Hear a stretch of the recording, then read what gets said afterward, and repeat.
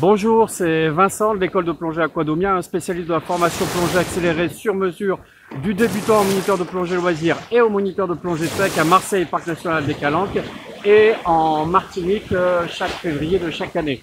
Donc euh, la vidéo du jour, ça va être aujourd'hui le scandale de l'enseignement des remontées assistées qui en devient euh, dangereux. Pourquoi je fais cette vidéo? J'ai reçu par commentaire sur cette chaîne YouTube une question de quelqu'un qui sortait d'une séance de fosse de plongée durant laquelle il me dit j'ai fait euh, 3 4 remontées de 20 à 15 mètres puis 3 remontées complètes de 20 à 5 mètres. En sortant de l'eau j'ai eu euh, un trouble du champ visuel des vertiges. Qu'est-ce qui m'arrive? Et eh bien ce qui lui arrive c'est tout simplement un accident de décompression.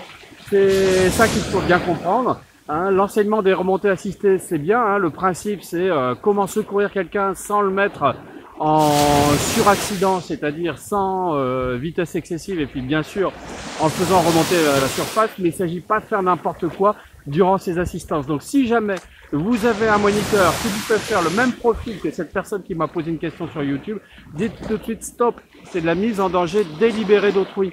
Hein, tout simplement pour les assistances, comme je vous l'ai dit, le but du jeu c'est de savoir remonter quelqu'un sans l'exposer à un suraccident avec des vitesses rapides si on vous enseigne des assistances en faisant des assistances, hein, c'est un peu comme si euh, pour vous enseigner la boxe, je vous apprenais à prendre un pas dans la gueule, à vous mettre KO, et on recommence, et on recommence, et on recommence. À la fin du compte, ben, vous ne serez peut-être pas en pleine forme.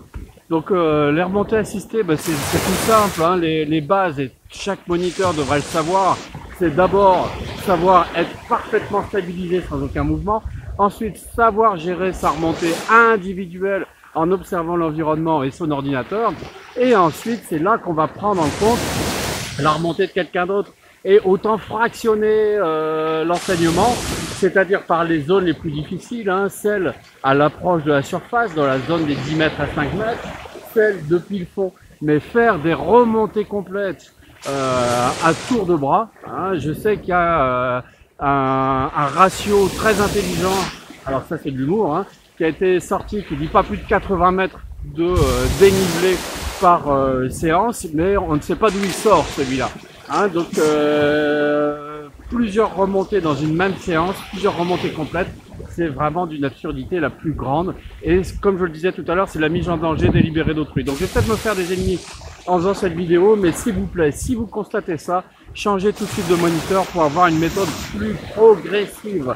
Voilà, donc c'était euh, mon petit coup de gueule hein, par rapport à ce commentaire YouTube. Et puis bien sûr, si vous arrive la même chose, ben, inutile de passer par YouTube pour me poser la question de ce qui se passe. C'est prévenir tout de suite les secours.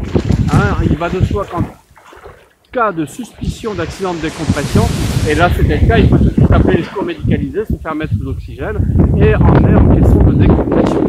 Voilà, c'était la vidéo du jour. Si vous avez des questions, n'hésitez pas à les poser en commentaire. Si vous avez aimé cette vidéo, cliquez sur j'aime. Si vous n'avez pas aimé, cliquez sur j'aime pas. Vous voulez en voir d'autres, abonnez-vous sur la chaîne YouTube Aquadonia One. À bientôt